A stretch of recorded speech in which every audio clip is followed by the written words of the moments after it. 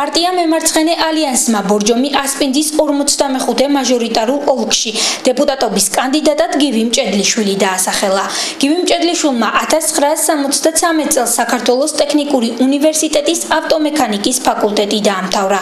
სხვადასხვა წლებში მუშაობდა ბორჯომის საყოფაცხოვრებო მომსახურების სამმართველოს მთავარ ინჟინრად და სამგზავრო ავტოსატრანსპორტო საწარმოს დირექტორად. იყო ბორჯომის ავტოტექ მომსახურების სადგურის დირექტორი. ყავს მეუღლე ორი შვილი და ორი შვილიშვილი. მაჟორიტარი დეპუტატობის კანდიდატი სამომავლო გეგმებზე საუბრობს. ჩვენი არჩევის შემთხვევაში პირველ რიგში ვიზურნებთ მოსახლეობის სოციალური მდგომარეობის გამარჯვებისათვის.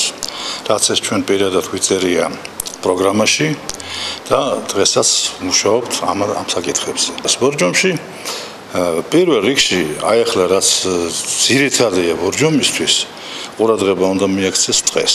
თორე ბორჯომი უთხრეოდ აბსოლუტურად არაფერს არ წარმოადგენს. დავაყენებთ წინადადებებს, მოსვენებას არ მივცევთ ადგილობრივ ხელისუფლებას, რომ აი ეს ხეთყე რომ ნადგურდება, როგორც მე პირადად სპეციალისტების აზრი მოვისმინე და გავეცანი, შეიძლება შველა. სურვილი გვაქვს რომ ჩვენი პარტია იყოს ყველაზე საუკეთესო და ბორჯომს ყავდეს ყველაზე საუკეთესო დეპუტატი, როგორც მე ვარ ისეთი.